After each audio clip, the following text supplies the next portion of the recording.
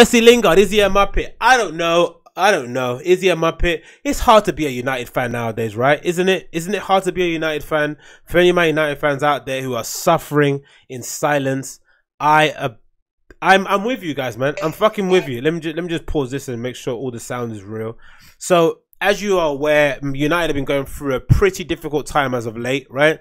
We have our star players all wanting to leave Lukaku, Pogba, David De Gea, and probably a host of others. We couldn't keep hold of a workhorse like Ander Herrera, even though he loved the club and he obviously wanted to, you know, whittled down his years at the club and he kissed the badge and he gave his 100%. You just, you know, the consummate professional. We couldn't keep Ander Herrera at the club. We have a board that in, incapable of hiring a director of football to take control of the transfers because Ed Woodward has a bit of a power complex and wants to be in charge of all those kind of things. We have a really strange dynamic. We have Man City who are absolutely blitzing the entire league and they have more money than God to spend on players that they want. They have an infrastructure that can get them the players that they want. They have managers the best in the world. Then you have flipping uh, Liverpool with one of the most inspirational managers that they've ever had in their history, who's able to get the best out of pretty bang average players, increase their um, value, win a Champions League, come within points of winning the Premier League. It's just a whole complete clusterfuck, right, for United.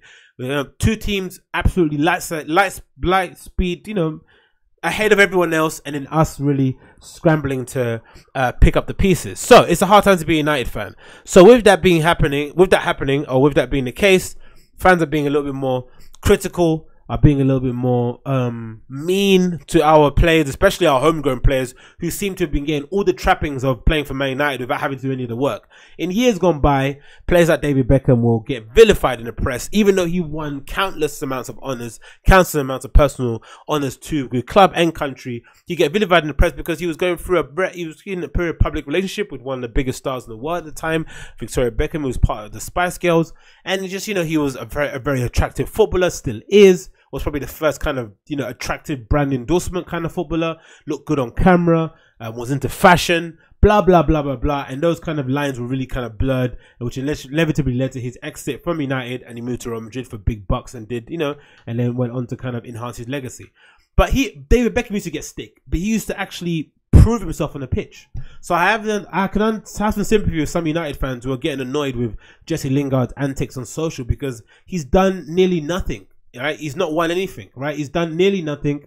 Um, he's had a really this come off a very terrible season last season, and I don't know. I've said on Twitter the other day. I just thought I don't have an issue because one video that came out where he's saying beans, beans, beans. I'm not sure if he's you know in relation to you know taking MDMA pills or something. I'm not sure if it's just beans in general. But another video kind of leaked, or another video that he kind of uploaded onto Snapchat, um, which people are taking offense to, where him and um, him and some friends who are with Marcus Rashford are you know doing a little I don't know room check after their holidays and wrapping up because I'm assuming they're coming back to UK to kind of prepare for pre-season. This is the video in question. It's been emotional. Seen a lot of seen a lot of shit in this room. So you know, again, maybe he's high, maybe whatever, but you know, he's going through what he's going through. People are getting annoyed by it, right? They're like, you know, what what are these kids doing? They haven't won anything, and they're you know banning around like that. Now, again, I don't have any issue with my, with players that play for my team or play for the team that I support. You know, relaxing and enjoying themselves. I have no problem with that whatsoever. I think it's a good thing. It probably shows that they're actually teammates and friends. They're hanging out together. The camaraderie is going to be good. I understand. I get it. I like it. But the only issue I have with it is it's just a lack of it's just the optics, right? It's like a uh, Paul Pogba coming out the other day during a press, a whole press marketing run in Japan, I think, or Korea, wherever he may be, promoting his Adidas line. And then he, you know, prompted by reporters, he says, "Oh, I don't want to be a United anymore. I want a new, new challenge. I've been there long enough. I might want a new challenge." It's like cool. It's just all well and good if you want to leave. The team is shit anyway. You don't probably see any any future going forward. You know, you don't have any assurances from the from management. They're gonna sort it out. No problem. You can go. That's okay. No problem. The issue is like, imagine what Solskjaer feels like seeing Paul Pogba saying public he wants to leave the club after Solskjaer publicly came out and said Paul Pogba's my guy. I want to build a team around him. He's the main figure here. Giving him a pat on the back, saying he's a vice captain. You know, really giving him saying the captain without even having an armband. Really blowing smoke up his ass and really trying to let him know that I rate you. I want you to be here for a long time. So for him to do that to Solskjaer personally is a piss take, right? Secondly, to do for him to do that to our club is a mistake too, because why say that in public? We all know you want to leave. We, we got that impression for a while, right? You haven't really been putting in the performances. You've been inconsistent, even though your numbers have been on paper good. The performances on the pitch have been a bit lackluster. You're not hitting the heady heights that we thought you were going to hit. Maybe it's a consequence of the players you're playing around, but in general, he's kind of flat to deceive. No issue with that whatsoever, right?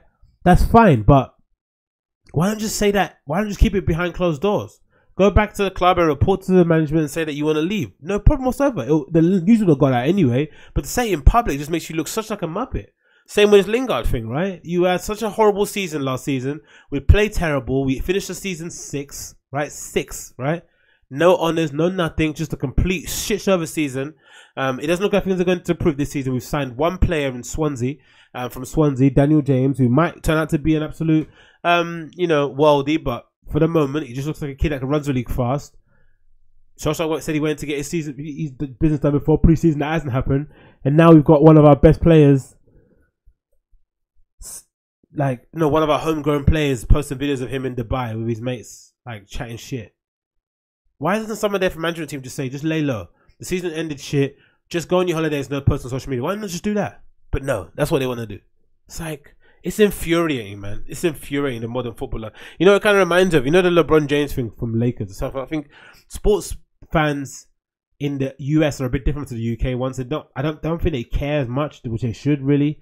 It's like if I saw OBJ flying around the world like attending fashion shows all the time, I'll be a bit pissed off if I was a Cleveland Bears fan, right? Like, well, just sit down and train, man. You've been out of the game for ages anyway. Like, get back to your best. You know I mean, this last thing I want my people to do. It's like LeBron James, like doing everything else but playing basketball, right? They didn't make it to the NBA Finals, right? And the Lakers. He was a big marquee signing. I'm pretty sure part of the reason he came to that franchise was to get into the NBA Finals. They didn't get into it, but I don't think American fans has again have the same kind of level of vitriol to their players that we would in the UK. Like imagine signing Hazard or Neymar, they completely shit the bed the season you signed them, and then they decide to at during the season when they're shit in the bed, they decide to launch a media empire, register a website, do all these photo shoots, have a talk show. You know, just in general, just post all these dumb videos on you on YouTube or on their social media. You'd be pissed if you were a football fan that happened. But I don't. Again, I just I just don't know what happens with these players nowadays, man. They're a weird bunch, man. They're completely different to the ones I grew up with. They're just strange. They're all about promoting their own brand, but again, sort of similar to like you know the football business. You would have thought that playing well on the pitch will just sort out all that other stuff in the background, right? If you're Jesse Lingard and you're actually playing well and you're performing and you're putting in great performances for United, all that other stuff you're doing on social media will look really good as soon as you start winning. When you're not winning, you just look an absolute donut, like, don't you? No. I don't know, but hey, maybe he's a map, maybe he's not. I don't really care, man. I've, I've kind of lost any kind of feeling to United. I'm just numb to it. I really am because I know the issues aren't just team deep and selection deep. They're much bigger than that. If Ole can't succeed, doesn't mean if Ole can't succeed doesn't really say nothing because he's in a shitty organizational structure. I think um, we know that from now on. Like you know, we've we've gone through so many managers of all different types, hasn't worked out, and the one made consist- that's remained consistent lack of director of football or sporting director, and Ed Woodward. Those are the things that remain consistent. Everything else has changed, but those guys are still hanging around. It's like, and now there's stories of fucking Axel Tuanzebe, right? One of our young, up and coming, you know, prospects at centre back or in defence is now supposedly they're considering selling him, right? Because he wants to play first team football. But then Jones and Smalling get contract extensions. Like, Mamma mia. Anyway, let's move on because talking about United just like pisses me off.